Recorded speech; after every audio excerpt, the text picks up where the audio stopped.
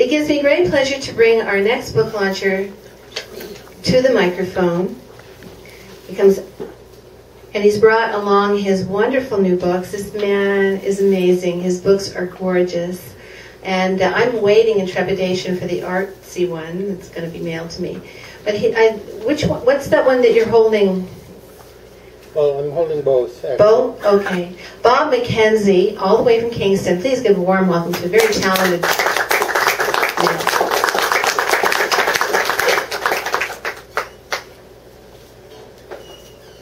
Okay, I'll, I'll warn you, I'm not going to do a lot of explaining because I do have two books in the time given for one.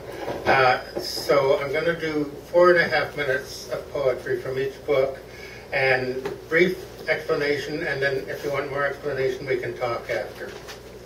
So, firstly, I'm going to read from Song Rise, brief explanation. This is an art book that I made in 1995, which is uh, bound at the top and opens this way. And we've done a new edition with additional poems in it. Uh, the poems are pieces that were originally performed by the group Poem de Terre of my work with music. Uh, so I tried to replicate that as close as I could by doing this book, which doesn't open from the top, but looks like it does. So, um, so I'll read from this first.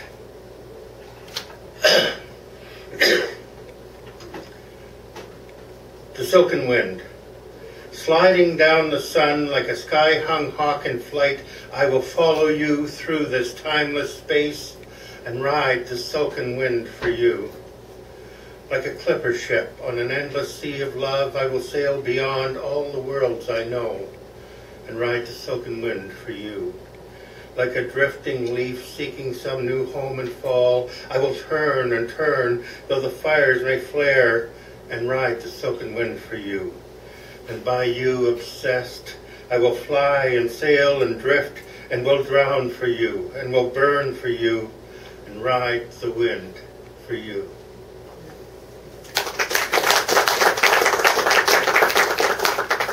Hands. You opened the door and lit lamps with your eyes. What fire your eyes could rear. And your hands, like a gardener planting a rose, wandered over me pleasing me, rearing wild rose, and I built up my house with your mind. When we closed the door and we lowered the lights, in dusk our eyes would meet, and your hands, like a gardener raising the flame, wandered over me, making me wildflower tame, ate with the host of my mind. Now I've closed the door and I've shut off the lights, but still your eyes are here, and your hands, like a gardener plucking a rose, wander over me, teasing me, lighting old blows, though I've emptied the house of your mind. And your hands, like a gardener casting a seed, wandered over me, teasing me, lighting the rose, but I've weeded the house of your mind.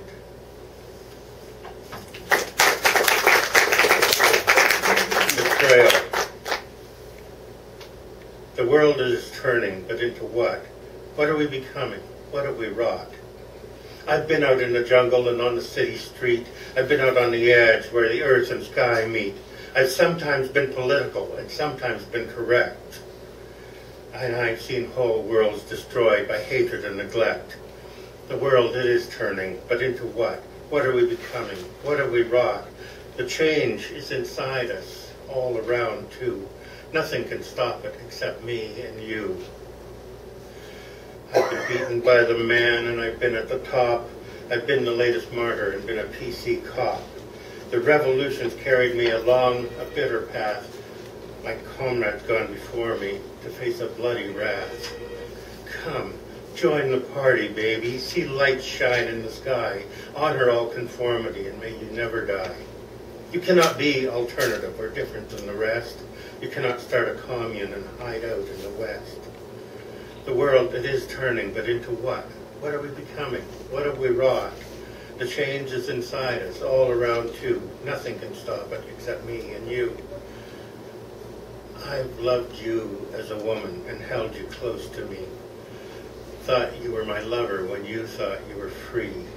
I've been across the desert sand, seen anarchy and chaos.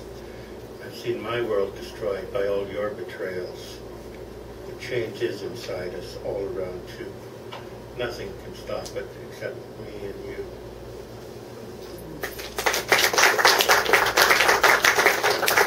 That's a dandelion song. You and I were friends once, singing wide-eyed love songs, loving too for oneness, you and I in our dance. Clouds were painted fluffball lion's manes and breezes, drifting parachutists, breaking up old friendships. Rain today recalls you, storm so long ago now. Where are your eyes, love? Wide as the clouds are melting. And also, this is the last one from this book. There's a rustle in your name like the passing of the years, the sound of days falling like leaves around you, inevitably to leave a barren scarecrow in the wind without a rustle. There's already a look of scarecrow in your eyes, a certain hollow in your face, and hunger in your mane that can only grow like chaos inward upon itself. There's a beauty about you, but it is the derelict fantasy of a long vacant mansion or the prairie in November rather than that of youth in search of life. There is a rustle that follows you as you move, carrying autumn from room to room and filling every room with leaves until one day you shall have shed so much of yourself that none shall be left for the present.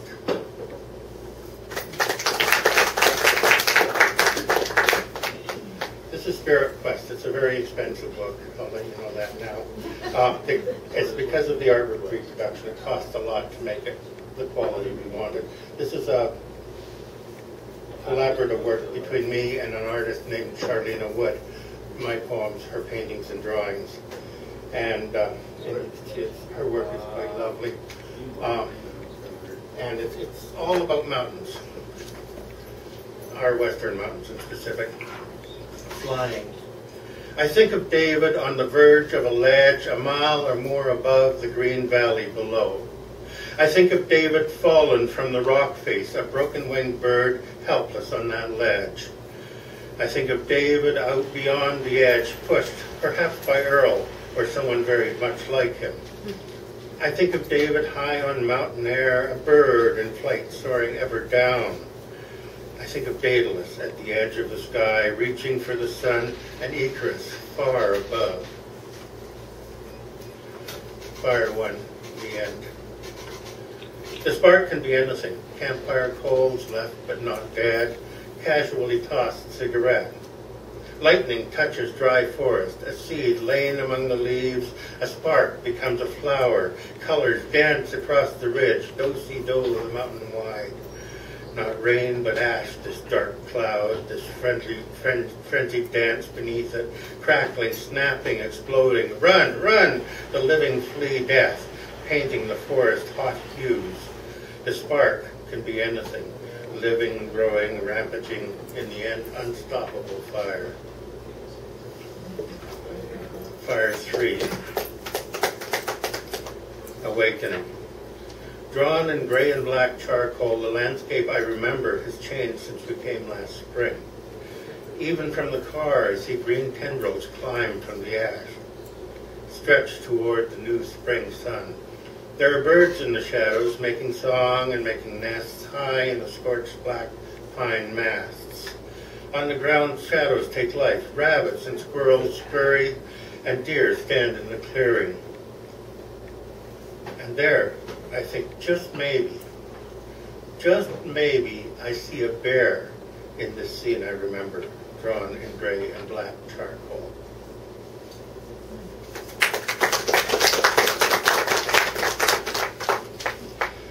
Bears. Bears in Banff walk the main street, hold lunch meetings at the dump, wave and smile as we drive past, invite us to stop for lunch.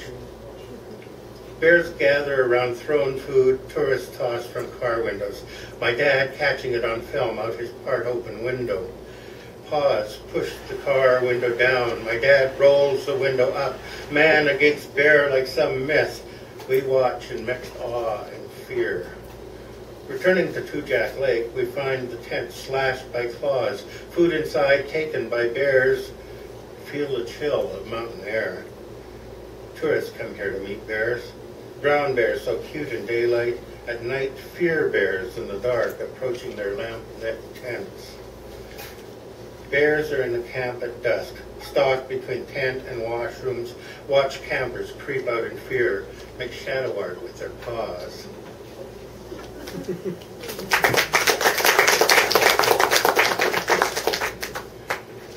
Spirit guide, second last. The cabin was off to the side of the big house, where the lake could be heard lapping at the dock. The cabin and the big house are both log buildings, reminders of my grandparents' homestead origins.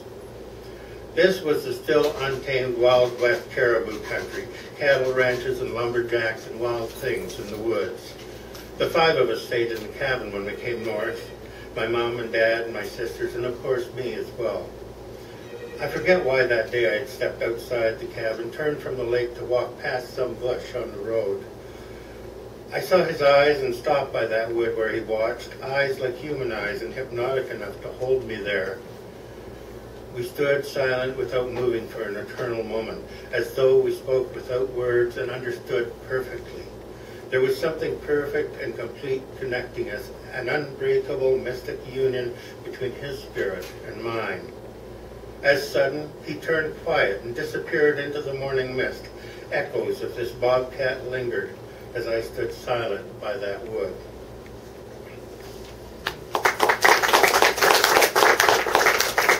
And no visible means. Sheep spot the wall like braille. Don't cling, but stand in peace. Defy all gravity. Enjoy the view below. We park by the highway. I watch from the shoulder. My dad takes pictures. Silence wraps us in awe. This space overtakes me as no book ever can. Here the gods can be felt, and I felt very small.